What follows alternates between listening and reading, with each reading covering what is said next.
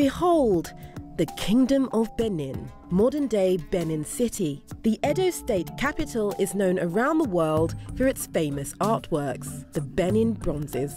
For centuries, Benin was a powerful empire, and right here in Igun Street, highly skilled bronze casters crafted magnificent pieces to adorn the royal palace.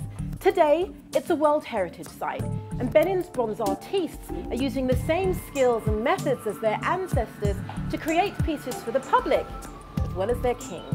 Chief Kingsley Ine is the head of the Royal Bronze Casters Guild, a committee of artists serving the Oba of Benin with a lineage dating back to the 13th century.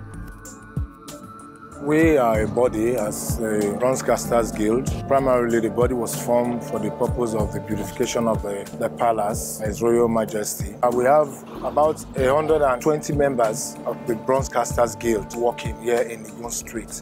Everybody on this street are related one way or the other. The members of the guild are placed and intact here in this community. It is transferred from father to son. Every bronze caster's child learns the work. That's how it has been from the beginning.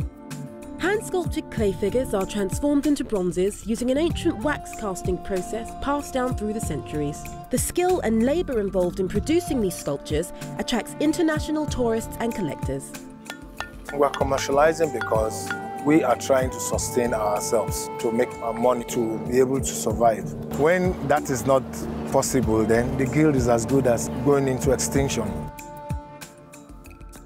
It is very, very important they come to buy from the source. Because if any other person is duplicating, that's not the original. We are equally the custodians of the history of this kingdom by way of various forms of arts. The plaques, the normal forms, standing figures, they are all artworks to depict whatever event that has transpired in this kingdom. And the pictures and faces of all our past monarchs. When they come here, they look at our works, and they are privileged to choose from which works like we have on ground. They come, we sell to them, and with the help of the museum, if they are from outside, they, they issue clearance for them to take the works out of the country. We work hand in hand with the museum. The National Museum Benin City was built in 1973. It houses artifacts from the royal palace. The Benin bronzes were scattered across the world in 1897 as a result of British colonialism. Major museums across Europe have now agreed to loan important artifacts back to Nigeria for a new museum the country plans to open in 2021. The Royal Museum is the brainchild of His Royal Majesty, the Oba of Benin. So the idea of rotation of objects, Benin arts work by the various museums in Europe to bring them to Benin and house them in this Royal Museum in an exhibition on rotational and loan basis.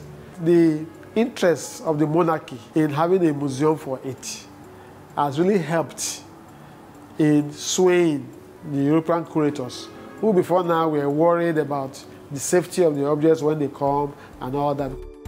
People are passionate about the return of this object because for over a century there has been this resistance to return the object to their rightful owners, the Benis. They are passionate about it because each object represents an ancestor in captivity. That is how the Benis feel about those objects taken away. Those objects were helping the Benis to tell their own stories.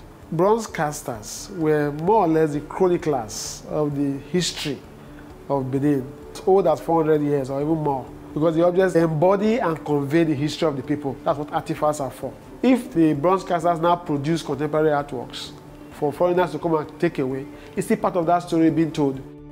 The Bronze Age lives on, and Benin remains hopeful that its priceless art may one day return to the place where it was forged.